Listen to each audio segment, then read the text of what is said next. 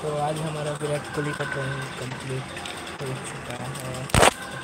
एक बार देखा तो बच्चा को कैसा लगा फिर कमेंट करके बताइएगा। अब हम लोग रोहित शर्मा का ड्राइंग